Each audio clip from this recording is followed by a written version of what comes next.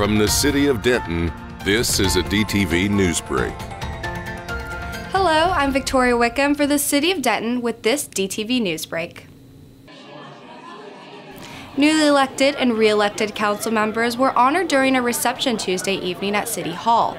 Following that reception, the City Council voted to adopt the election results and the oath of office was administered to Gerard Hudspeth, representing District 1, Keely Briggs, representing District 2, John Ryan, representing District 4, and new council member Jesse Davis, representing District 3. State of Texas. and will, And will, to the best of my ability, to the best of my ability, preserve, protect, and defend preserve, protect, and defend the Constitution and laws the Constitution and laws of the United States of the United States and of this state. and of this state. So help me God. So help me God. Congratulations. Thank We you. can just have you sign this.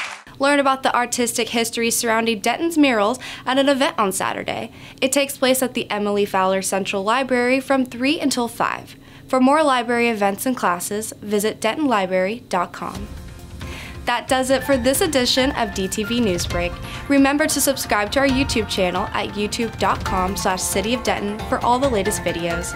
For the City of Denton, I'm Victoria Wickham. Thanks for watching. Watch more city videos at youtube.com and visit our website. Stay connected with the city of Denton.